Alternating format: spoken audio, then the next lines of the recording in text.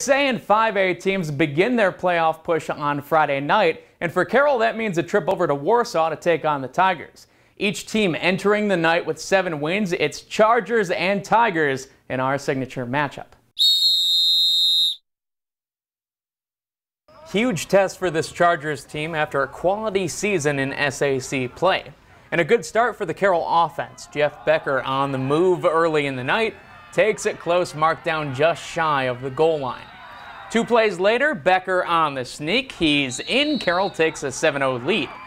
Warsaw's quarterback can make things happen in the ground game, too. Aaron Green sheds a tackle, cuts inside, and finds his way to the end zone. That ties it at 7.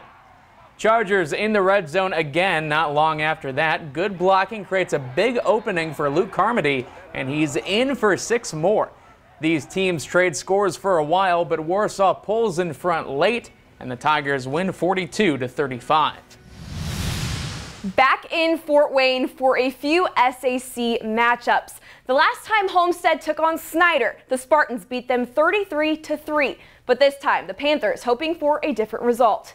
We'll start here with Snyder's Tyrese Brown down the middle. He picks up the first down, but it's Homestead's time to shine.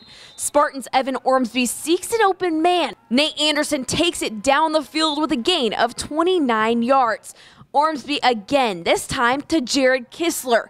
The Spartans up 10. They aren't done just yet. Luke Hoppert's pass is tipped. Isaac Barks bobbles it and doesn't let go. The Spartans move on, winning 28 to 10. Another all SAC clash at Northside. Legends host Northrop. Bruins beat the Legends by a single point earlier this month. North clicking early. Their first drive ends here. Jay Sean Lambert breaking through and into the end zone for a Legends touchdown. Bruins with an answer from 10 yards out. Give goes to Demarius Cowan, and Northrop star back finds the goal line. But plenty of more offense to come from North. Deuce Taylor off the left side, stretches and scores for a two-yard touchdown. North side avenges the regular season loss with a 42-21 win over the Bruins. Moving on to Bishop Dwenger as they host Anderson. Brendan Lytle with the beautiful pass to Henry O'Keefe, and O'Keefe with a show stopping catch. Gavin Groves takes it home right here, and the Saints take the lead 7 to 6, and they never look back. Dwenger dominates 42 to 6. Concordia heads all the way down to Oak Hill to take on the Golden Eagles.